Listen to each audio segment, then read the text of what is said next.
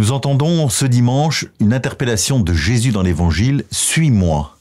Cette interpellation que nous entendons à plusieurs reprises dans l'Évangile est, me semble-t-il, une des invitations essentielles de la vie chrétienne. On pourrait presque dire que notre vie chrétienne, la vie chrétienne en général, c'est de répondre à cette invitation du Seigneur à le suivre. Suivre Jésus, fait écho à une invitation, qui une parole qu'il nous a donnée aussi dans l'évangile selon Saint Jean, où il nous dit, je suis le chemin, la vérité et la vie. Le chemin, c'est à la fois la direction, mais il est à la fois le chemin et celui qui nous accompagne sur le chemin. Rappelez-vous les disciples d'Emmaüs.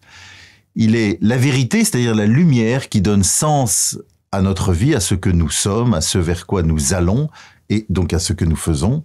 Et puis il a aussi la vie, c'est-à-dire c'est avec Jésus que nous vivons pleinement et nous vivrons pour toujours dans la vie éternelle avec lui.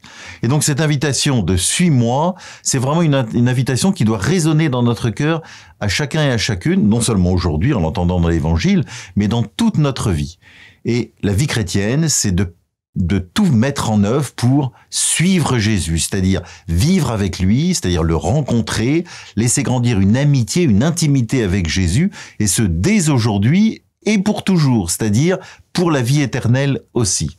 Alors que cette invitation du Seigneur à le suivre résonne vraiment dans nos cœurs aujourd'hui et que nous puissions tous, vous et moi, y répondre de tout notre cœur avec joie.